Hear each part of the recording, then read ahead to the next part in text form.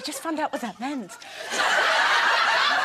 now, take a, and that's not what I meant. Take a look at this picture. Take a look at this picture. 300 women in Brisbane, Australia, were taking part in a Valentine race to try and bag a date. It was organised by a local radio station, and the prize was a trip to Las Vegas with that lucky man who actually doesn't look that keen. now, they were happy to take part in the race, um, but do you think you should ever chase a guy? Well, you see. What I would have done if I was in that race. Get over yourself, you. I would have I would have lost it on purpose. X, I couldn't be bothered to run. But also I would have stayed at the back so that when he finished racing he'd have thought, why doesn't she fancy me? And that would have made him more It depends interested. how you do it. If you're at the back going... Having a fact. With me 20 facts. no, but I think, I mean, I think you can chase a man without it being obvious that you're chasing him. Yes. Which is kind of to be more subtle That's more like- ladylike. Yeah. It's more ladylike. How do you, how would you do it then? Me? Yeah. How did you chase Ray? How did you chase Ray? Well, no, I didn't really, because as I've always said, when I first met him, I just thought, oh, God, what an idiot. And, um... well, no, he was. He was. He was. It was idiot at first sight. And, um... But then, you know, gradually as the night went on, I thought, oh, he's nice, and he's looking at me. And then I sat... I could see him working...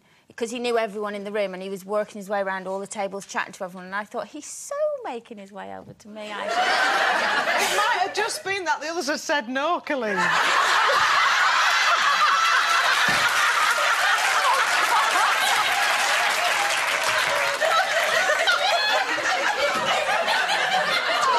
you know what? I'm, I'm a bit let down with myself.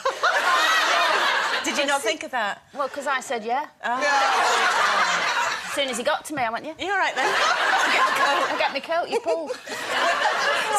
I'd, I'd ordinarily I'd, I'd kind of agree, but my situation with the way I met Mike James was, well, it was it was unique to say the least because um, he was gaffering James, my other my boyfriend, my other boyfriend, no, no. my boyfriend, Your other half. my other half. Um, I was uh, shooting the, the commercial for my last album, and um, he was doing the gaffering, he was doing the lighting and the electrics and stuff. And I walked in and saw him and thought, oh, hello, oh my God, I really, really fancied him.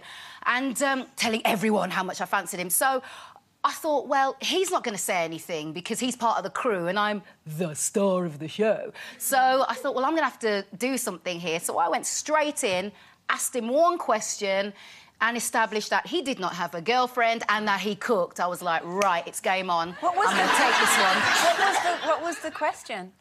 Well, he was eating. He was having a, a, a bit of a, a munch down, and he had chicken and stuff. And um, I went over and went, "Oh, so, so you, you uh, got some food there? Uh, who, who cooked that for you?" He said, "Oh, I did it myself." I was like, "Oh, um, your girlfriend didn't do it." No, I don't have a girlfriend. I was like, "Mm, all right."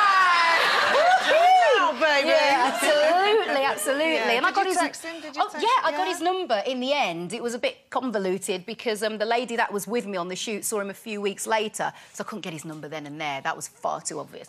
So got his number a few weeks later, texted him, and. Uh, Felt a bit sheepish, and then the rest was history. I think that's nice. Yeah, it is now Yeah. then. Should you chase a man? Should you chase a man? If he's just nicked your handbag, yes.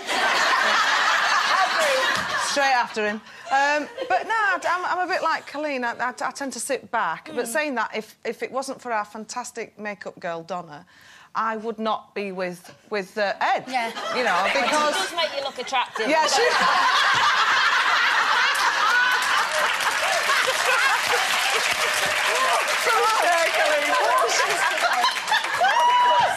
Oh, you could tell.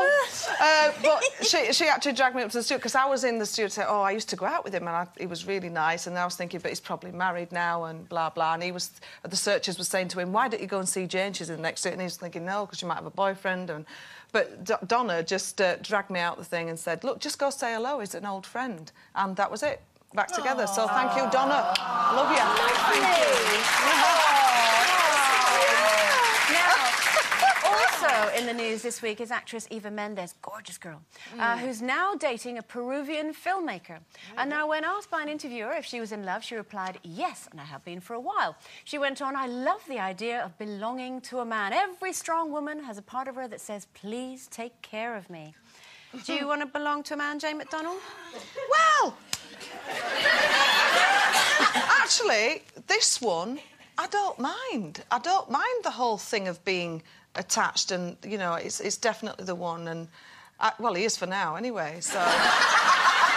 Uh, but you know, you, I, I honestly think I do. My heart does belong to him. Oh, There's a song in That is lovely. I see what you mean. Oh, it's lovely, isn't it? I see what you mean. Yeah. You know what it is for me? It's, it's are touched? it's, it's that word belong. It sounds like you're coming with me. You know what I mean? I, I don't- I- Do you not I- like that? I like the idea of, of equals. Equals. You know what I mean? That- To me, it's it's just that word belong. It sounds like. I, I, to me personally, I think that um, there should be a, a man should kind of compliment you. You know, it's not just that idea of ownership. I, I don't like that. That's what it infers to me. I think it's like you, you come together as a team and you become Yeah, a, a unit. it's a and you both work together rather than, you know, like you say, being dragged along by the hair or in a headlock. Um, but, you know, Yeah. some ladies... Would you stop it, Coleen? do, you, do you like that idea? I do like a strong man. Uh, Would you maybe want not to in a belong headlock. to Ray?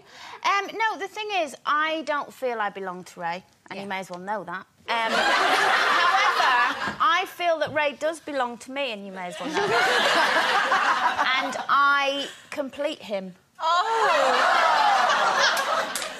That's the way round. Oh. I'm just speaking for him. Why is it okay that here. way round and it's not okay? I don't know, it just makes me feel better, Keeps him on his toes. Oh. he does, he, I, he belongs to me. Oh, he can't go anywhere lovely. without, without my permission.